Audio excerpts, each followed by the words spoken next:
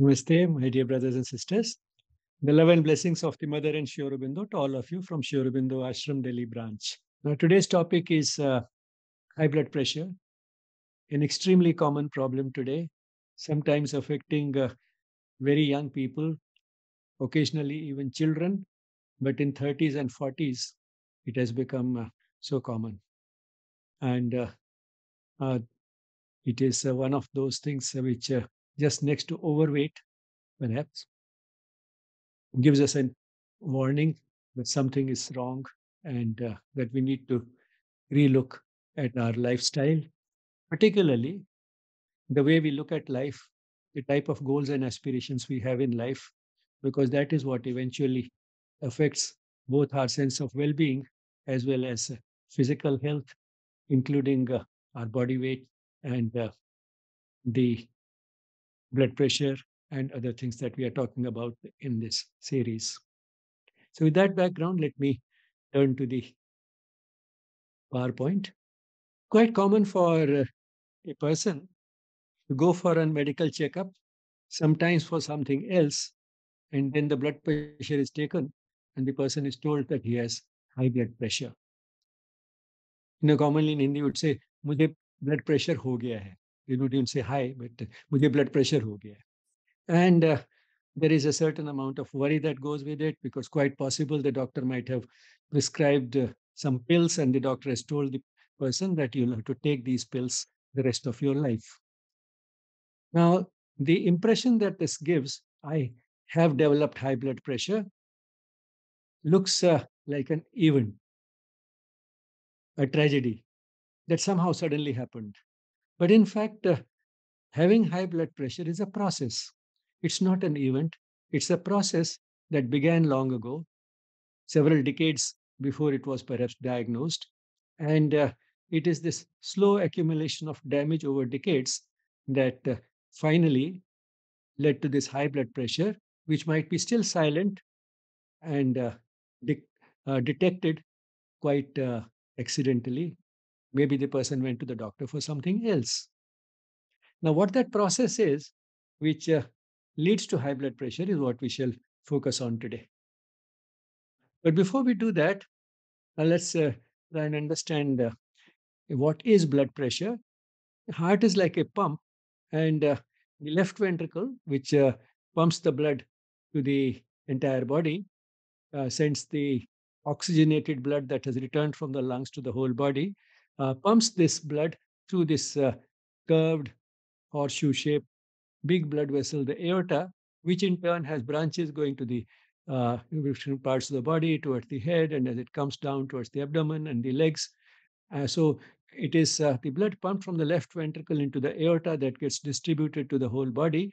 And as this blood is pumped at a high pressure, so that it can uh, travel all the way up and down up to the smallest of uh, arteries, say in the feet, uh, it has to be pumped forcefully. And as it is pumped forcefully, that uh, uh, forcefully pumped blood in these blood vessels exerts a pressure on the walls of these blood vessels.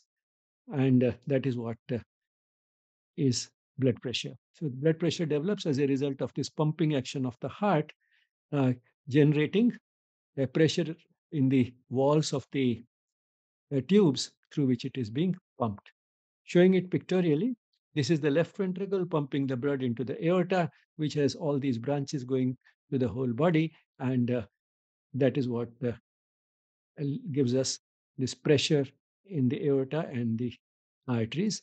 And still more pictorially, say this is a pump. The blood is being uh, pumped into a series of tubes. And you can see that uh, as uh, it uh, goes through these tubes, the blood pressure will keep the pressure within will keep falling a little bit, but then uh, it has to be considerable. The pressure has to be considerable for it to be able to reach the very end.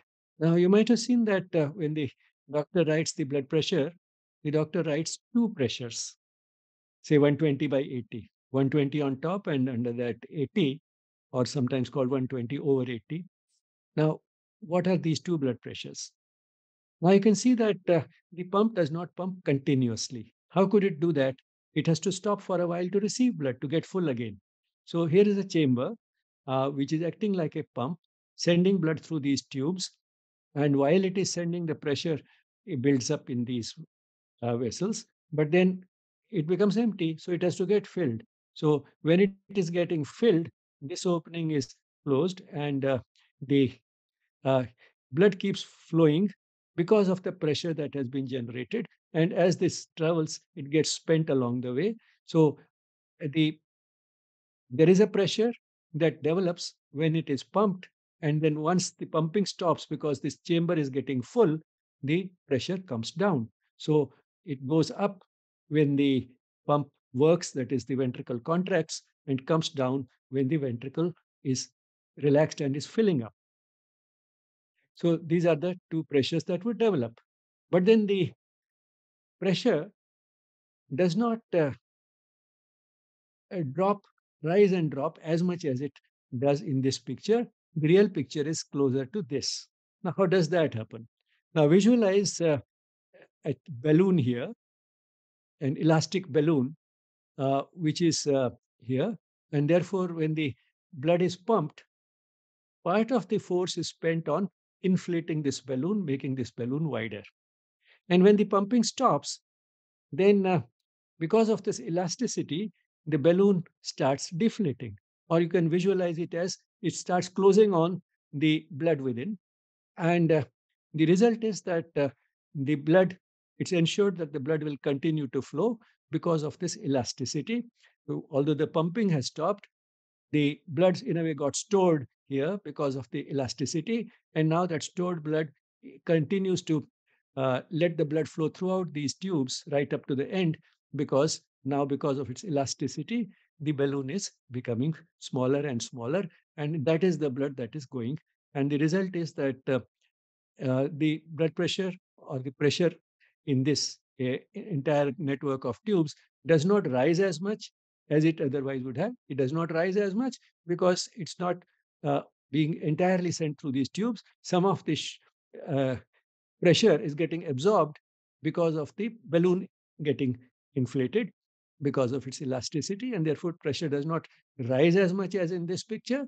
At same time, it does not fall also as much as here because uh, of the uh, elasticity of the balloon, which continues to uh, generate a pressure of its own, sort of acts as a mini pump by closing on this and letting, uh, exerting this uh, pressure so that the blood continues to flow. So it does not fall as much as over here. So this is the pressure during the contraction of the ventricle or during pumping. This is the pressure when the ventricle is relaxing and uh, getting filled. So this is called the systolic pressure and this is the diastolic pressure. Systolic, say 120 and diastolic 80. This is when the ventricle is contracting. This is when it is relaxing. Now we can also understand, therefore, that uh, if uh, the elasticity here is reduced, then what would happen? It will become a little closer to this, which means the pressure would rise more when the blood is pumped and uh, will fall more when the pumping stops. Now, to some extent, reduction in the elasticity of the arteries is a part of the aging process. So to say, you know, in uh, layman's language, you would say the arteries become stiff. They don't, uh, they lose their elasticity to some extent. They become stiff and therefore when the blood is pumped by the heart it the arteries cannot accommodate that much and therefore the pressure rises more and then because of the same reason uh, now there's not much scope for closing on this blood and therefore the pressure drops more than it would becomes closer to this picture so an increase in the systolic pressure and an increase in the pressure between the systolic and the diastolic which is called the pulse pressure, both these increase to some extent with aging. But then aging is a process that doesn't follow the same curve in everybody. It can be slowed down. And therefore, it's not inevitable that the pressure would rise. In uh, many, it does not rise that much, even with age. So, uh, but all the same, it's understandable how reduction in the elasticity of arteries, which is a part of the aging process, no, with age, all functions decline, including the elasticity of the arteries, and that is what gives rise to a higher systolic pressure. Since diastolic pressure is something which we don't worry about that much, uh, we'll, and we shall see why, uh, this increase in the systolic pressure sometimes is called isolated systolic hypertension. That's only the systolic pressure is high. And uh, sometimes the diastolic pressure might have also increased to some extent, uh, not as much as it would have. So the reduction in the diastolic pressure because of loss of uh, elasticity gets compensated by an increase in the diastolic pressure because of other reasons. And so the diastolic may still be within the normal range. So that's how we get isolated systolic hypertension. And that is the commonest type of hypertension in people above 65 years of age. Now let's see a little more mathematically this whole process. A blood pressure is equal to cardiac output multiplied by peripheral resistance. Now, what is this cardiac output? Cardiac output is the amount of blood pumped. So one can understand more the blood pumped, more would be the pressure generated. Now, what is this resistance, peripheral resistance? Resistance offered by the network of tubes. So more the resistance offered, the greater will be the rise. Now, what is the resistance due to? Because of the narrowing of the arteries. One can visualize, you know, easily that suppose uh, a pump is sending water through a series of hose pipes in a garden. Now, more the blood that is pumped into these hose pipes, these pipes which are connected to the pump, more will be the pressure generated. Also, if the tubes through which it is going are narrow, the pressure will rise. For example, suppose there's a wide tube through which the, the water is flowing, and we squeeze it or put a nozzle in front which has a narrow opening. Suddenly you find that when there was no nozzle, the blood was flowing limp. You know, the fall was limp, which means it was not uh, going very far and uh, because the pressure was not much. The pressure had uh, dropped by the time it reached that level. But if you apply a nozzle or you squeeze it with your finger, suddenly it goes like a jet.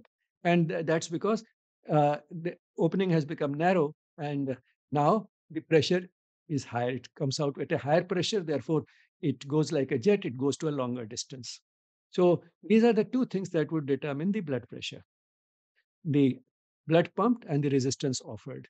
And uh, one can see that uh, the initial pressure which is generated when the pump is working would influence mainly the uh, pressure at the time of pumping when it is being pumped, that is the systolic blood pressure, when the ventricle is contracting in terms of the heart. Whereas uh, the resistance offered will affect more the extent to which the pressure drops during the uh, pressure drops when the blood is not being pumped or the water is not being pumped. So uh, we find that uh, you can again visualize the same way uh, the water being pumped through a series of tubes in a garden uh, if um, you do not have the nozzle and you stop pumping, then very soon the flow will stop, which means the pressure will drop to zero. Whereas if you have that nozzle, even after you stop, because of that narrow nozzle and high pressure, the blood will continue to flow for some time, which means that the diastolic pressure, pressure when the blood is not being pumped, will depend more on the resistance offered. Now, both these have uh, a sort of a place in understanding high blood pressure because uh, the systolic blood pressure would depend more on the elasticity of the arteries, whereas the diastolic pressure will depend more on the how narrow or wide the arteries are. And uh, while the elasticity is a part of the aging process, reduction in the elasticity and affects the systolic pressure more, the narrowing of the arteries due to deposition of fatty substances in the walls is uh, more of a pathological process. It's not an inevitable part of aging, but all the same, to some extent, some fatty deposits would form in just about everybody. One can't expect to have clean arteries like a newborn. And uh, when the process is faster, then the deposits can be so much as to give a pretty high diastolic blood pressure.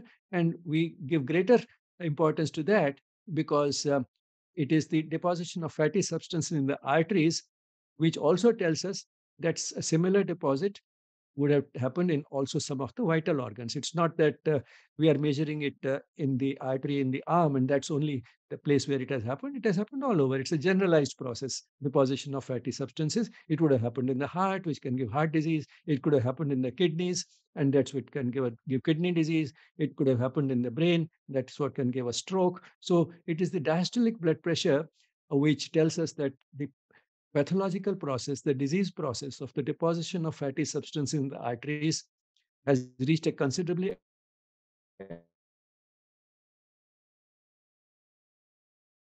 Therefore, this is a warning for other things that could happen, the so-called complications of high blood pressure. Now, this just gives a, a pictorial representation of the blood being pumped into the aorta and its branches. And here we have these fatty deposits which have narrowed down the passage. We already discussed this. Why is the diastolic pressure considered a more important indicator of high blood pressure? More important because the risks associated are more. It tells us that a similar process has taken place in so many vital organs, and therefore one or the other of the organs could uh, perhaps suffer damage uh, in the form of a heart attack or chronic renal failure or stroke. Because the systolic, another reason is that systolic blood pressure can rise temporarily due to a variety of causes. It's not only the aging process, but when say a person is uh, angry, agitated, even then the heart you know beats faster and harder. Uh, and that also raises the systolic blood pressure more because that is because of the more blood being pumped. The uh, the peripheral resistance, that is the resistance offered the, by the blood vessels, may not change that much. Because say if a person is taking exercise, the blood is pumped, more blood is pumped, and therefore systolic pressure can go up. But then the resistance offered may not have changed much or might even go down because the arteries in the muscle, sorry, arteries of the muscles, muscles which are active during exercise, those arteries would have widened up to increase the blood flow to the exercising muscles. So that will actually bring down the resistance offered in the muscles. And uh, therefore, the diastolic pressure may not rise. In fact, it may fall a little because of the opening of the arteries in the muscles. So systolic pressure can rise temporarily due to a variety of causes like exercise, anger, excitement, agitation, etc. On the other hand, diastolic blood pressure gives a better idea of the degree to which the arteries have got narrowed down due to fatty deposits.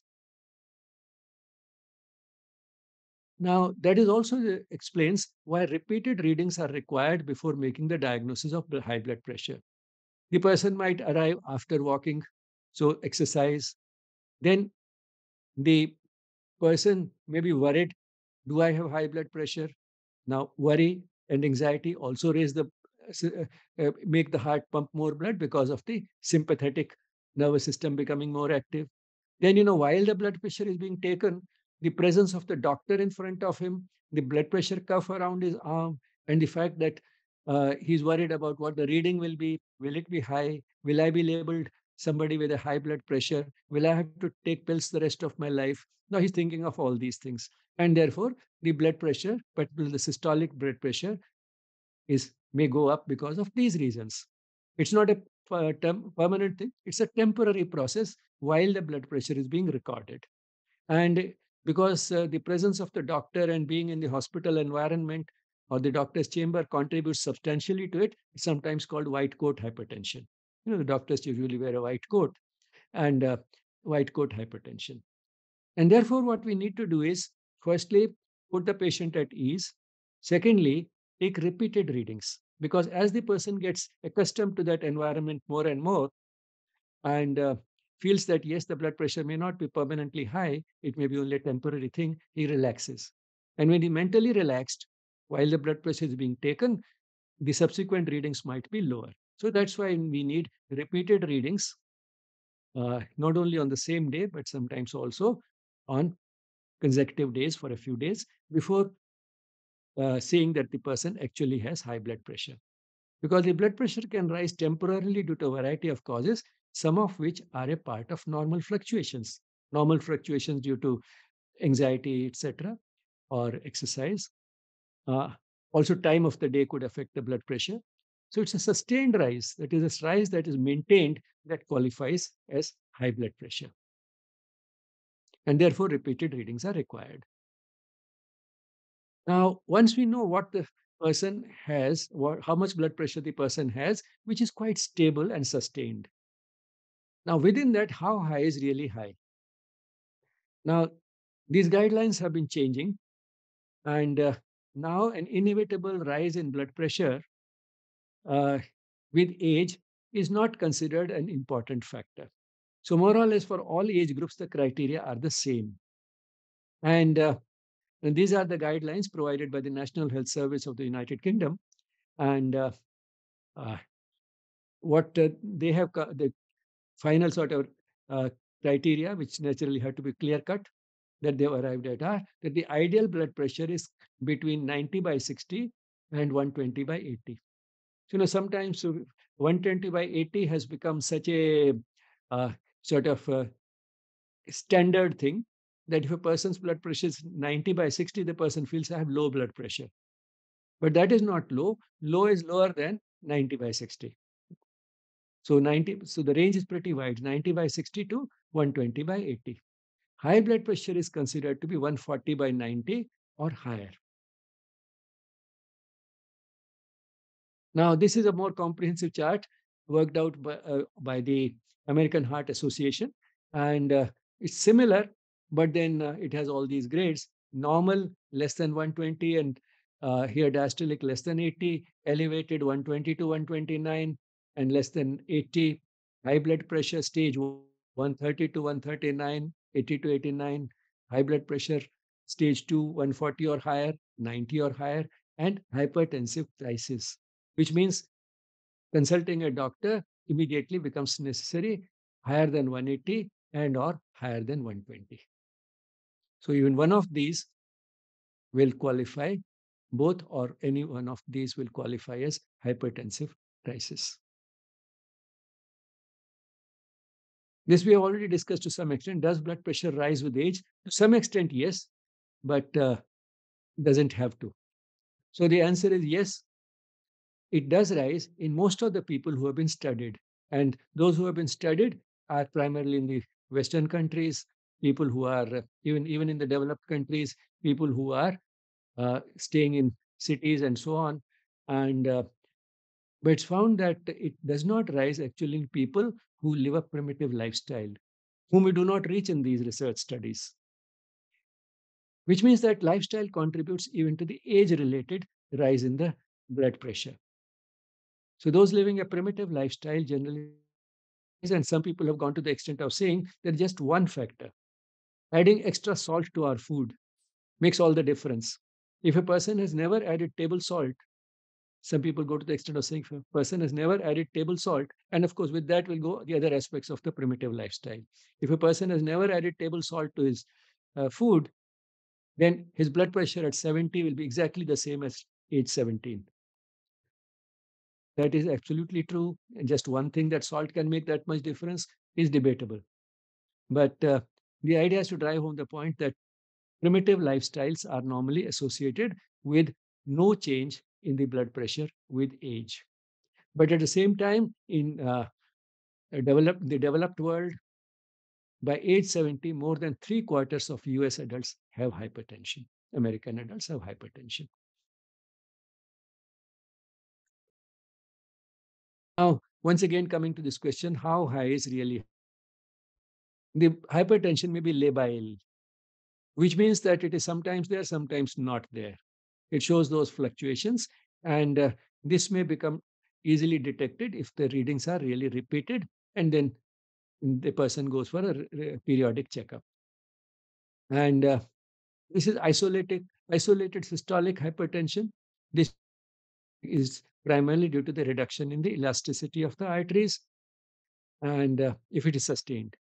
And iso- uh, uh, temporary rise in the systolic blood pressure alone could be because of exercise, anxiety, etc. But if it is sustained and can be labeled isolated systolic hypertension, that is primarily because of the reduction in the elasticity of the arteries. Then isolated diastolic hypertension. Uh, this can also happen. That is primarily because of the deposition of fatty substances in the arteries. And uh, hypertension during pregnancy. Any woman might develop uh, a little increase in the blood pressure during pregnancy because uh, the sex hormones, uh, which go up to very high levels, they skyrocket during pregnancy. And uh, while that is not their most important effect, their effects are primarily on the reproductive organs. Uh, these uh, steroid hormones, you know, these sex hormones are also steroid in the broad, they belong to the broad category of steroids. Now, these sex hormones, uh, one of their unintended, perhaps, or less desirable effects is they could raise the blood pressure. So, any woman can get hypertension during pregnancy, and usually it returns to normal after the baby has been delivered. But all the same, hypertension during pregnancy does deserve a little more special consideration. Now, let's see different uh, aspects of it. If the woman already had hypertension before becoming pregnant, then it could worsen during pregnancy. And if the hypertension was present before pregnancy and the woman was on medication for that high blood pressure, medication might have to be reviewed because some of them, the drugs given, may not be safe during pregnancy. They were safe for the woman, but they may not be safe for the baby. And therefore, medication might have to be reviewed. If hypertension developed during pregnancy, the woman did not have blood pressure, high blood pressure earlier, but she develops it due to pregnancy. This is a simple situation relatively because it does have, can happen to many women because of the actions of the sex hormones which skyrocket during pregnancy. It may remain just that, that is hypertension during pregnancy and return to normal after delivery. But all the same, it may not be as simple as that. In any of these above situations, there's a possibility of serious complications involving various organs with grave risk to both the mother and the baby. And one of the first indications of this serious complication is the appearance of protein in the urine, which indicates renal damage. Normally, we do not have protein in the urine because the filtration process, the process of filtration in the kidney ensures that this will not happen. The protein molecules are too big to pass through the filter in the kidneys. So the place where the blood is getting filtrated to uh, initiate the process of urine formation. So the place where this uh, blood is getting filtered, that filter in the kidneys does not allow big molecules like protein molecules to pass. And therefore, there's no protein in the urine. But when that filter is damaged, which means that the kidney is damaged, protein could appear in the urine. And that is why throughout pregnancy, you might have seen during antenatal care, these are two important things that are done repeatedly measurement of blood pressure and urine examination becomes even more important if the woman has developed high blood pressure during pregnancy or had it already before pregnancy. In any of either of these situations, uh, repeated measurement of blood pressure during pregnancy is an important part of antenatal care and uh, also desirable particularly if high blood pressure has developed during pregnancy, you examine the urine for the presence of protein. Because it could be the first warning of more serious complications, which can be a grave risk to both the mother and the baby. Does hypertension run in families? Whether it is high blood pressure or heart disease or high cholesterol levels or diabetes, these are all diseases for which the risk is increased by a large number of genes. So the inheritance is not a single gene, uh, but because of inheritance is because of a large number of genes. And when that is so, then even if the disease has been running through the family, it is only a tendency to develop the disease that is inherited, which means a greater risk now, whether that tendency or increased risk will actually manifest in the form of the disease depends a lot on the lifestyle. One can delay the manifestation by having a healthy lifestyle. So, if the delay is so much that the person can delay it to 70 or 80 years of age, it's as good as not having inherited it at all. So, it's not hypertension itself, but a tendency to develop hypertension that is inherited. At what age the tendency would manifest, that is actually show up as high blood pressure, depends on the lifestyle. Now, one of the things that is common to a wide variety of lifestyle diseases is inflammation, particularly in the arteries of various organs. And uh, this inflammation is not the type, you know, when one gets hurt and one develops a swelling which is red and hot and uh, the temperature it is warm. You know, these are classical signs of it's not that type. It's a subclinical, low grade inflammation. Doesn't have the classical signs of inflammation that is redness and swelling and warmth and so on.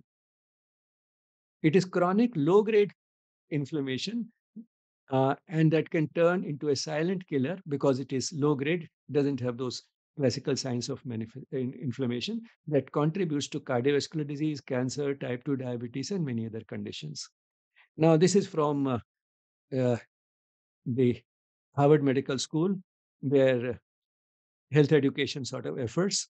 And they say that this chronic inflammation can be stopped through seven, can be stopped through seven simple steps. Pay attention to your diet, eat a healthy diet, what is good for health, in a quantity that is just right, neither too much nor too little. Remain physically active, manage your body weight.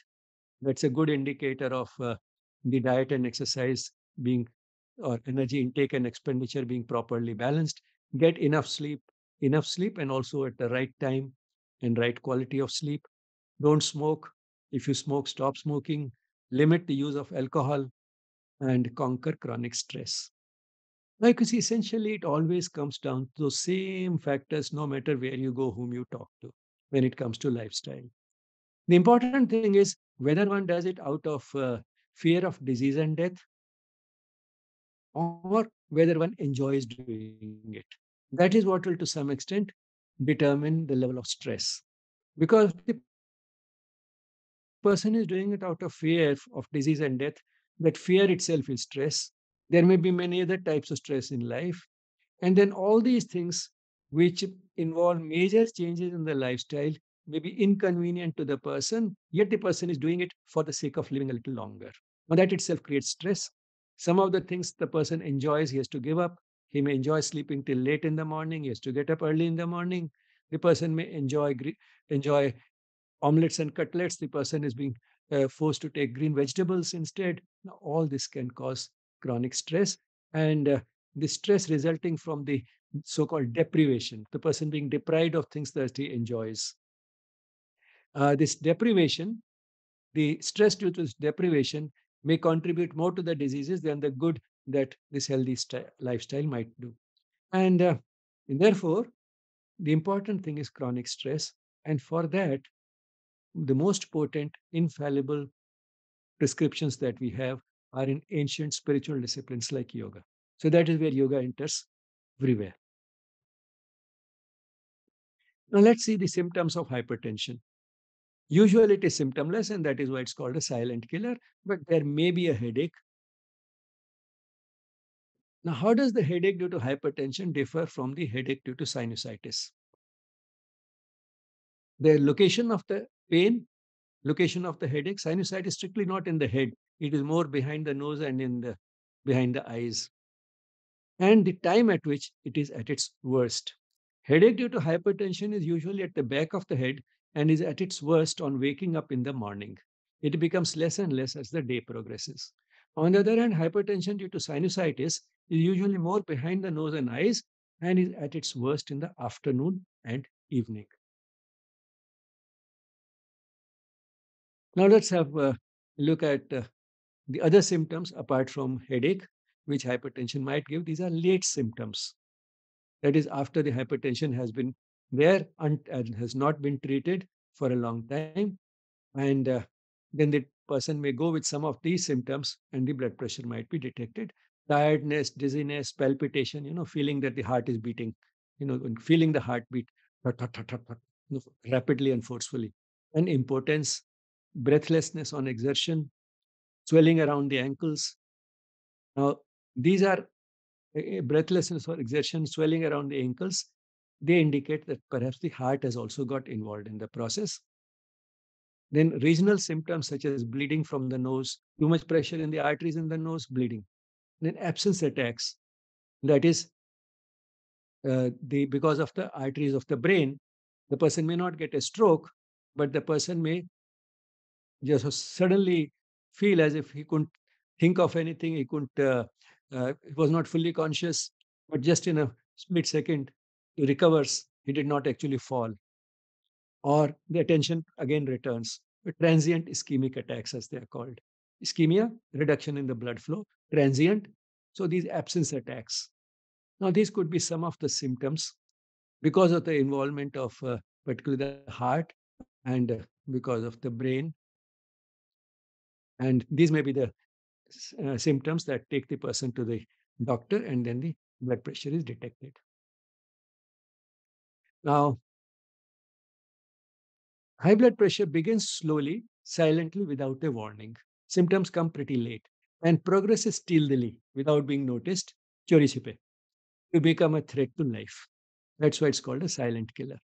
And therefore, it is recommended that blood pressure be checked up every alternate year after age 30 and every year after age 40. And of course, the mother of most cardiovascular diseases, including high blood pressure, is overweight. And uh, correspondingly, if an overweight person who has high blood pressure may be able to come back to normal blood pressure just by losing weight, not necessarily by becoming uh, uh, completely sort of thin and lean, but uh, just losing five or 10 kilos, even if the person is still now on the stocky side, that may be the person's basic constitution. Uh, just by losing five or 10 kilos, the person's blood, uh, blood pressure may come down to normal. Now here is this uh, actor, Ron Perlman. I lost 90 pounds and my blood pressure went down to a normal level and the salt in my urine disappeared. And uh, well, I mean, what he means is, you know, that um, he was uh, perhaps eating too much salt earlier, and therefore the urine also had more salt. Uh, salt from the urine will not disappear completely. Uh, and that was when I had to make, after all, he's an actor, he's not a doctor. But important thing is when he just lost 90 pounds, his blood pressure came down. Nothing else was required. And therefore, he had to make a transition from a fat character actor to a thin character actor.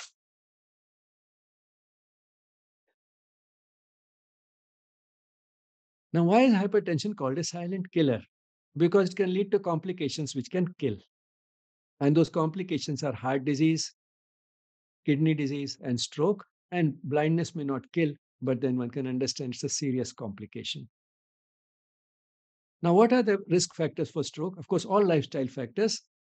But uh, once I heard a talk by Professor Srinath Reddy, a friend and uh, eminent cardiologist, uh, he said that uh, there are three major risk factors for stroke. The first is hypertension, the second is hypertension, and the third is hypertension.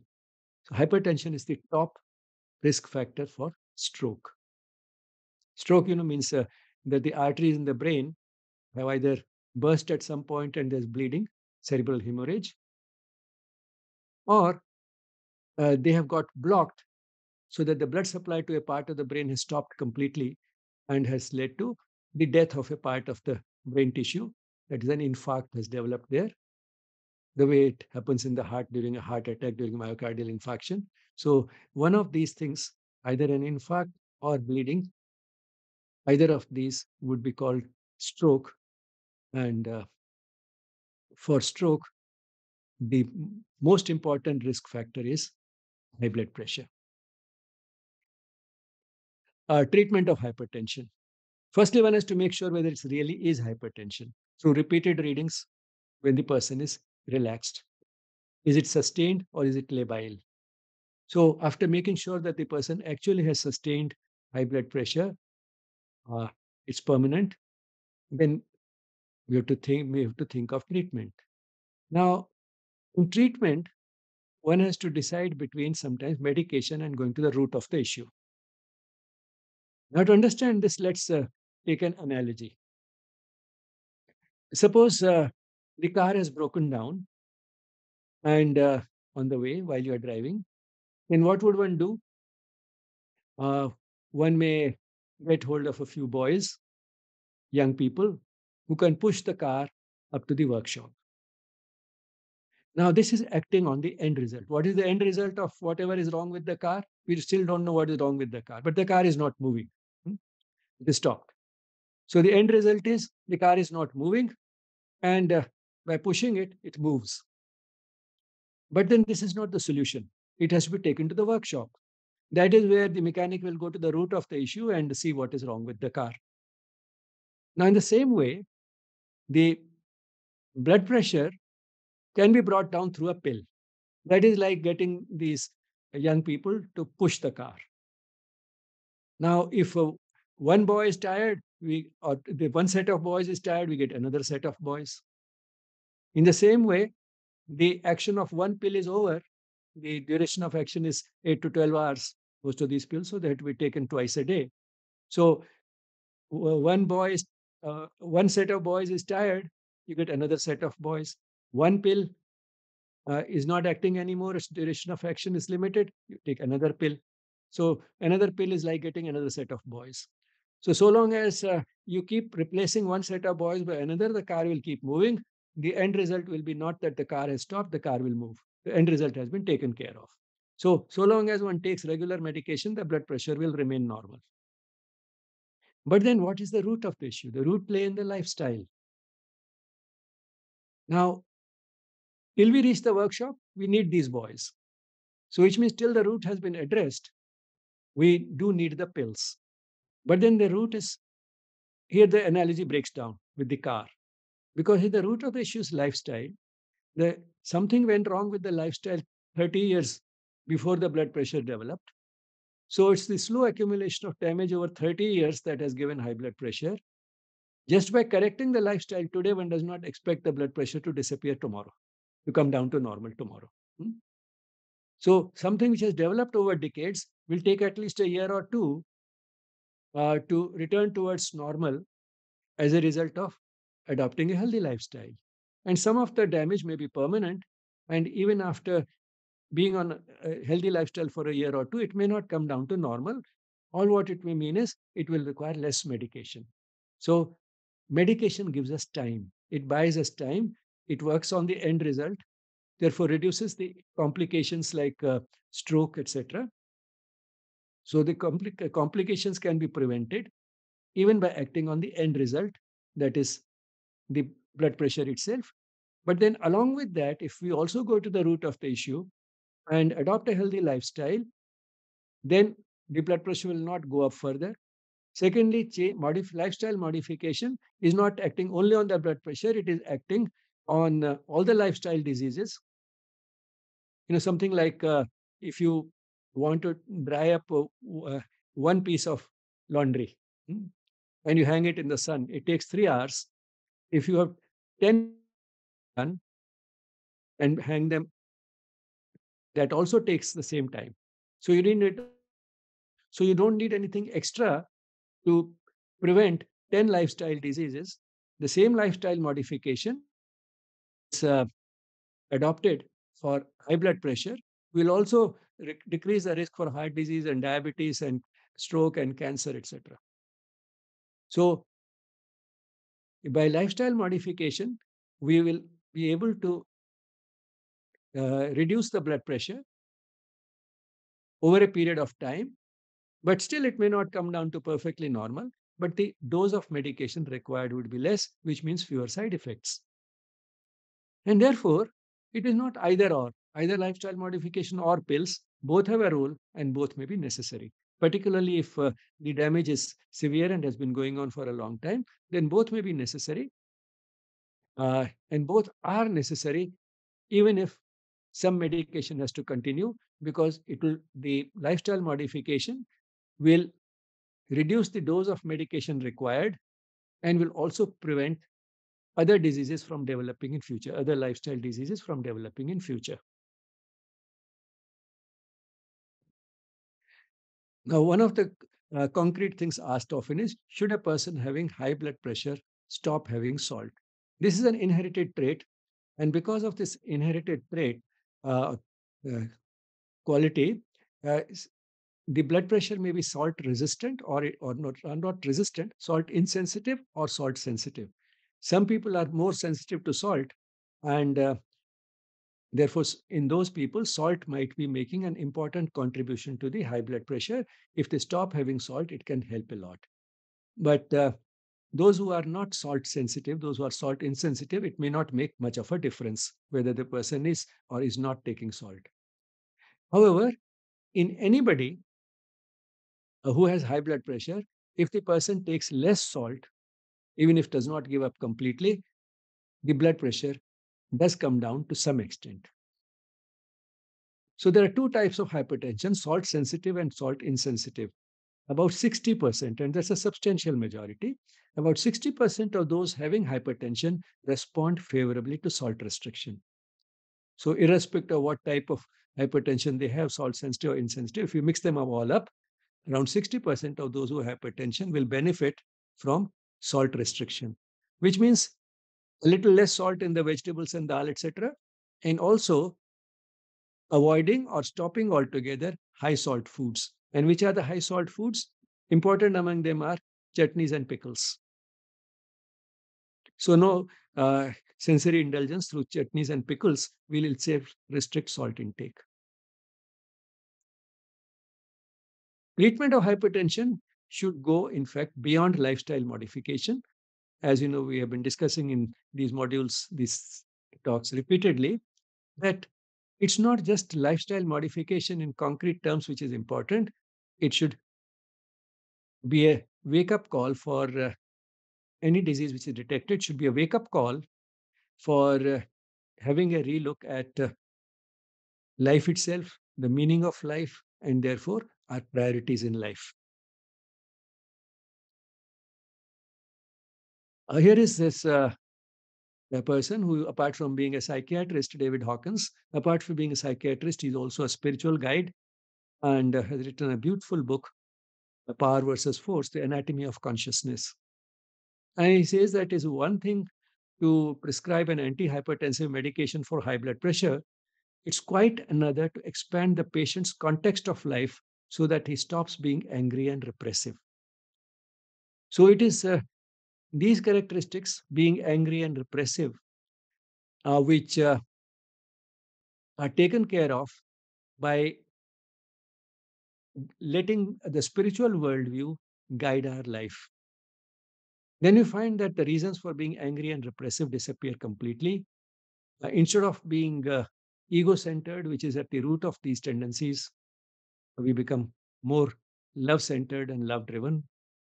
And uh, the result is that the blood pressure does not rise.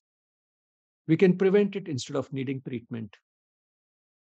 Uh, that reminds me of George Pickering, uh, rather uh, old in the time uh, uh, cardiovascular physiologist, who had uh, given a model for how a person develops high blood pressure. The person has a way of looking at life that makes him repeatedly angry and repressive. So sometimes what is summed up as hostility. You know, hostility, ego-centered, highly competitive, with negative traits like uh, competitiveness, unhealthy competitiveness, and uh, jealousy and uh, anger and uh, a desire to control others and so on. The person who has these negative tendencies finds many occasions and excuses for being uh, for being angry, etc., during the day. The result is that every time he does that, his blood pressure goes up. Then it comes down to normal. But then, if it keeps happening several times a day for several years, then this high blood pressure becomes sustained. And that is when the person is then, we can, in spite of repeated readings and everything, we find that the, this person definitely has high blood pressure. But why did this person develop this high blood pressure? Because he had a way of looking at life which made him angry, agitated, hostile, cynical every day, several times a day for several years. Now, is there anything like low blood pressure? Having it permanently below, say, 90 by 60, which we saw is uh, in the lower average limit of normal. But there could be individuals in it whom it may be still a little lower and still they may be completely normal. Uh, because the person gets accustomed to a low blood pressure, the person gets accustomed to some extent also to a higher blood pressure. And that's why we have a range of normals. So permanent low blood pressure, which is so low as to give symptoms, is extremely rare, almost unknown. But temporary attacks of low blood pressure are pretty common. And what are the symptoms of these temporary attacks? First, there's a warning. The person feels dizzy and the person might fall, faint and fall. Now, fall is in a way nature's way of telling the person, treating the person. Because you see, the dizziness and fainting is because of the reduction in the blood flow to the brain. And that happens before it uh, blood flow fall, falls to the legs. Firstly, blood flow reducing uh, reduction in blood flow to the legs will not matter much, not as much as reduction in, to the brain. On the other hand, reduction in the blood flow to the brain occurs earlier because that requires the heart pumping the blood against gravity, it has to be pumped upwards. So it's against gravity. And therefore, whenever this temporary attack comes, the first thing that happens is that the blood flow to the brain drops. The person feels dizzy. If he doesn't pay any attention, he faints and falls. Now, if he falls, he's flat, horizontal. And therefore, now the blood to the brain doesn't have to work, uh, blood to the brain doesn't have to be pumped against gravity. Now, gravity is not involved. So, the blood flow to the brain improves, the person can recover. However, this is not the best way to treat. Of course, nature has built in this protective mechanism, which is helpful, but then the fall will lead to other types of serious injuries. And therefore, one has to heed the warning and do something. That is what is important. Now, what is it that can give these temporary attacks? First, let's see. Standing still for a very long time. And that's why you would see that uh, no watchman stands completely still all the time. If nothing else, the person at least moves his legs a bit. Change of posture. Now, this can happen because uh, every time we say shift our posture from lying down to standing, the blood has to be pumped against gravity in the standing posture. And uh, therefore, it could lead to a fall in blood pressure, but doesn't because uh, there are mechanisms in the body, reflexes in the body, which uh, come into play within seconds. And therefore, as we are changing the posture, those reflexes make sure that the blood continues to flow normally to the brain, even in the standing posture. But then these reflexes can slow down. And uh, any function in the body deteriorates with age. And therefore, this type of uh, a temporary attack of low blood pressure, which leads to fainting and falling, is more likely in an older person than in a younger person. And uh, just as all other processes of aging are slowed down by a spiritual attitude to life through yogic practices of asanas and pranayamas, the yogic practices improve the sensitivity or reduce the slowdown of these uh, deterioration of reflexes with age. And the result is that this is less likely in a person who has been practicing these yogic uh, practices. But at the same time, aging can't be stopped, it is only slowed down. So, what a person should do, irrespective of whether the person is uh, doing these practices or not, as the person gets older, if he gets the slightest warning that this type of thing is developing, as the person is changing his posture from lying down to standing, there is some sort of dizziness, what the person can do is two simple things. Most important, don't do it quickly. Uh, from lying down, come to the sitting posture. Sit for a minute or two, then stand. And another second thing, which also can be sometimes very helpful in preventing a fall. From lying down, sit up, sit for a minute or two, and then while standing, hold something. Could be take a wall support or a piece of furniture, but make sure that near the bed there is something which you can hold that will prevent the fall. And uh, all this involves doing things consciously. And that is again a part of yoga.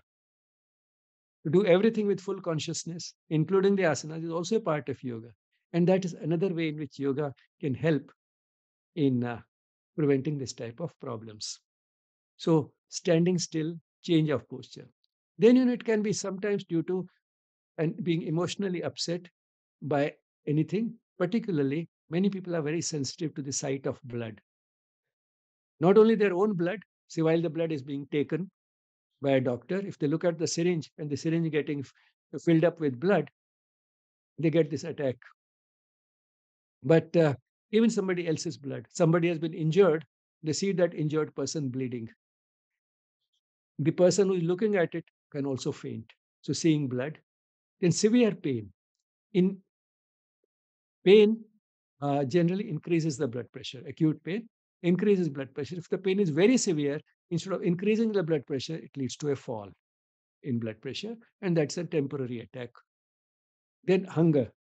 Being extremely hungry can also lead to low blood pressure. Hot environment. The person has been in the hot environment for some time. The person has sweated a lot, has lost water and uh, uh, salts, and uh, that has led to this low blood pressure. And alcohol. Alcohol opens up the blood vessels, doesn't narrow them down. If the blood vessels open up, the blood pressure can fall. It's the narrowing which raises the blood pressure. It's the widening that can lead to a blood fall in the blood pressure. Treatment depends on the cause, and we'll focus on just these three. Change of posture, as we saw, change of posture should be in steps from lying down to sitting, sitting to standing, hold something while standing up, and uh, that can take care of it. Doing things consciously. Hunger, eat something. Hot environment, loss of water and uh, salts. So, uh, apart from lying down, which will prevent a fall, etc., and uh, will improve the blood flow to the brain, consume a few good helpings of uh, salt and uh, water. Salt, not just ordinary salt, preferably uh, you know the types of solutions which are used for oral rehydration, like uh, or nimbu pani.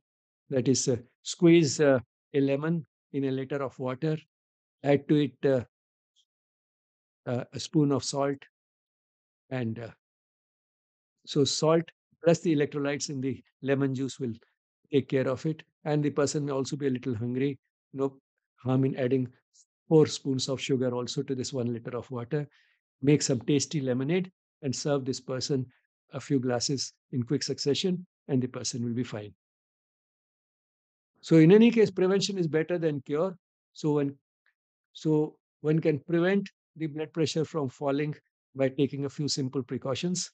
Early in the morning, particularly after having been bed for several hours during uh, while asleep, sit up, sit up for a few minutes. Use that period of sitting up to pray. So sit up, pray, and then get down. And while getting down, hold something. Hunger, don't let yourself go to that type of hunger which leads to a fall in blood pressure. Hot environment, uh, it may not be always possible to hot, avoid hot environment, but one can always carry water and or some uh, lemonade along. So before anything serious happens, one can keep replacing the water and salt lost due to sweating. Protective clothing, not letting the head, head get very hot. So all those things can help in uh, uh, preventing the fall in blood pressure due to heat. And uh, again, yoga comes in, uh, reducing the possibility of low blood pressure, these attacks, the change in the attitude to life, doing things consciously, like change of posture consciously, heeding a warning consciously. Now we return again to the more common problem that is high blood pressure. So here is the pronouncement by the doctor I have high blood pressure. The person is worried and anxious, but then this is not an event as we saw, this is a process. And we have tried to understand the process. And what contributed to the process was all these things diet, physical activity, sleep, tea, coffee, smoking, and above all, chronic stress. Now, if this is taken care of, the other things would be taken care of. If this has been taken care of, by going to the very root of this stress. And the root lies in the way we look at life, in the type of goals that we have set for our life, in the type of priorities we have in life. So, if that is so, then who contributed to the process?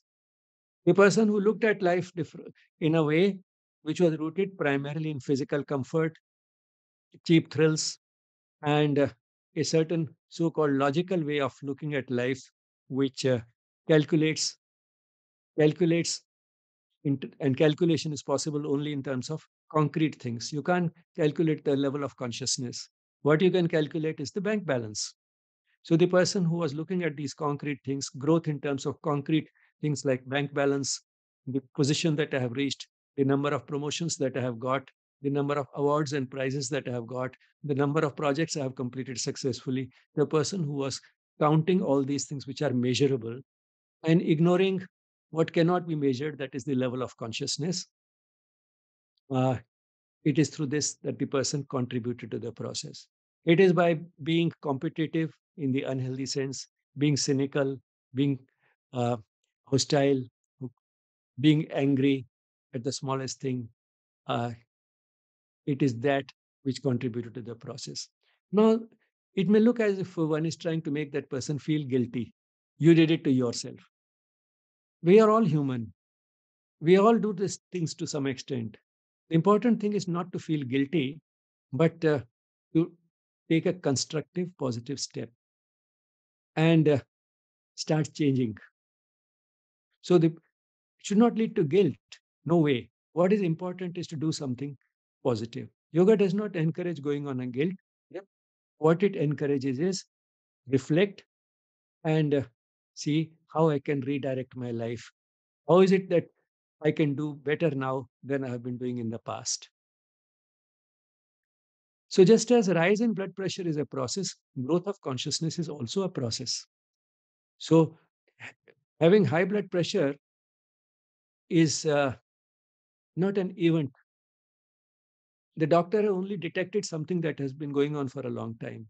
In the same way, growth of consciousness is a continuous process. And uh, interestingly, one of these stops the other. Growth of consciousness prevents the rise in blood pressure. Now let's uh, turn a little less serious. There's a joke. The doctor has declared I have high blood pressure and he has said I have to take these pills for the rest of my life. Okay, but why are you worried so much? You just have to take two pills a day for the rest of your life. But the doctor has written one pill twice a day for two weeks, which means that the doctor has uh, told the chemist to give me only 28 pills. And that is the rest of my life. Now, rise in blood pressure is a process. So is growth of consciousness. One of these stops the other. The process of growth of consciousness stops the blood pressure from rising. Not only that, it can stop the blood pressure from killing. For one reason or the other, the person may develop a high blood pressure in spite of working on growth of consciousness, but then this blood pressure will not kill. What was Mahatma Gandhi's blood pressure? High for a very long time. At least these are two readings available. 26th October 1937, 194 by 30. 19th February 1940, 220 by 110. He had sustained high blood pressure for several decades before he was assassinated. And here is what uh, uh, the famous and eminent cardiologist Dr. B.M. Hegde has said in a six minute video. You'll be able to find it very quickly. Just put Mahatma Gandhi blood pressure. You'll get several entries, including a six minute video by Dr. B.M. Hegde. This is what he said. Gandhiji's blood pressure was high. Who was losing sleep? Dr. Sushila Nair, a physician, a disciple of Mahatma Gandhi, and uh, his personal sort of physician in that sense. So she was losing sleep because he had high blood pressure, and she had read in her medical uh, course all the complications of high blood pressure. Gandhiji was sleeping peacefully. So Gandhiji's blood pressure was high. Who was losing sleep? Sushila Nair. Gandhiji died of a very important complication of high blood pressure. So Dr. Hegde goes on to say, Gandhiji died of a very important complication of high blood pressure, a bullet. His kidneys were all right, his brain was all right, his heart was all right, because his mind was all right. He didn't hate anybody. Or to put it positively, he loved everybody. So love is the key. That's what kept him, kept his kidneys, his brain, his heart, everything all right. And uh, he died of something else, the bullet.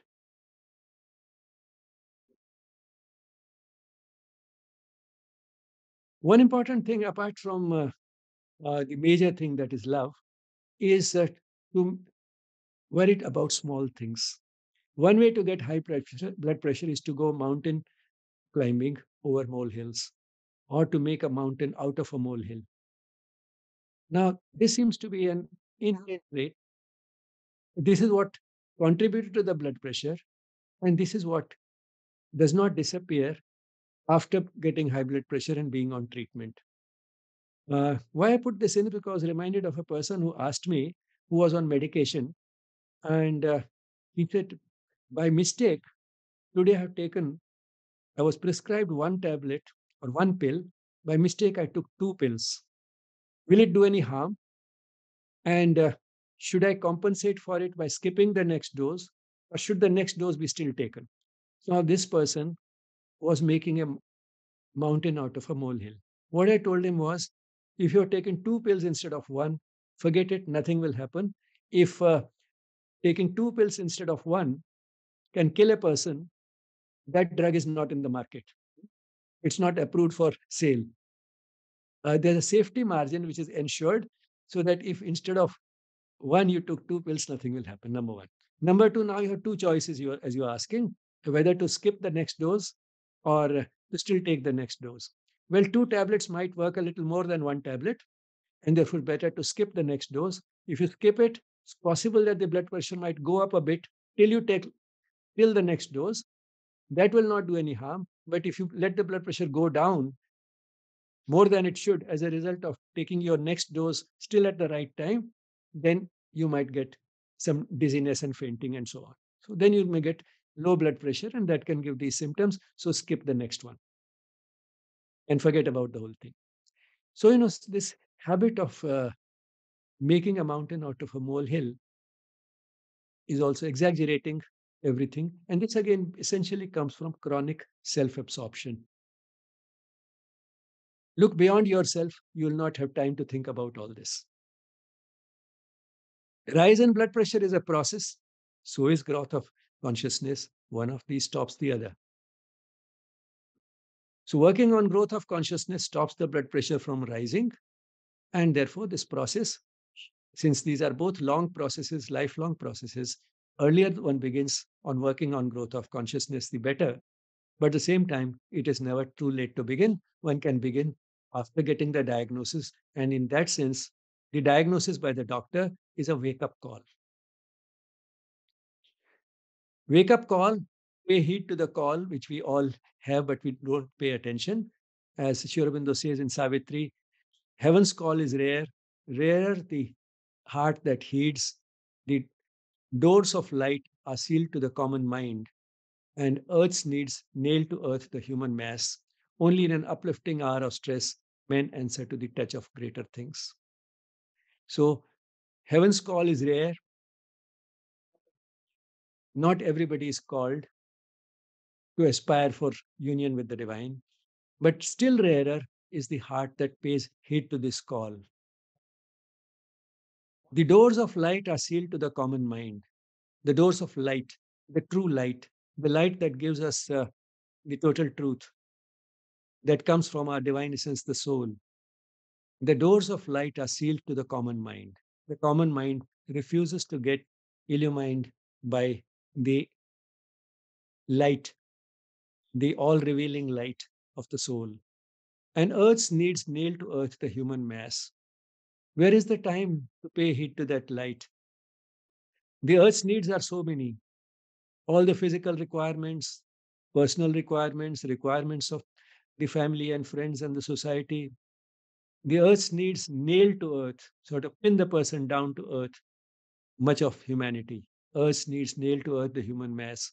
But then this call may be heard when only in an uplifting hour of stress men answer to the touch of greater things. So it is stress, it is a misfortune, it is a calamity, it is a traumatic event that may make the person pay heed to this call because that is when the person thinks of the one whose uh, power is unlimited, for whom everything is easy. One tries to get support from there. One turns to this. That's when one turns this call. Only in an uplifting hour of stress, men answer, men answer to this call, answer to the touch of greater things. So this declaration by the doctor that you have high blood pressure is one of those uplifting hours of stress. Take it in that spirit. It's a wake up call. Pay attention to this call, which may be rare, but then with a in this uplifting hour of stress, anybody can get a bit of that call, a glimpse of that call, at least a temporary glimpse of that call. Don't let it disappear. Don't pay this, don't let this attention to this call disappear. Hold on to it and work on the growth of consciousness, which is what uh, listening to this call will do. And the blood pressure, the rise of blood pressure, the high blood pressure will only serve as a wake up call.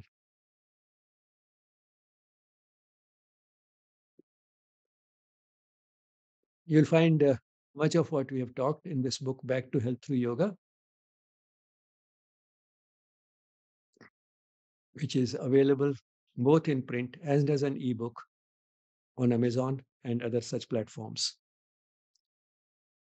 And the anatomical picture of the heart shown at the beginning of this presentation uh, was taken from Tortora and Grabowski's Principles of Anatomy and Physiology, a beautiful book this is a picture postcard view of the inside of the meditation hall of Sri Aurobindo Ashram Delhi branch, to which you are all welcome. And of course, for questions and comments, apart from what you may ask now at the uh, end of this towards the end of the session, you can always drop an email to yes at yesspirituality.com. Gratitude to the Mother and Sri Aurobindo for uh, making these sessions possible. And uh, thank you for being there and listening patiently to such a long session. We can close today's session and thank you, everyone. We end with a short silence.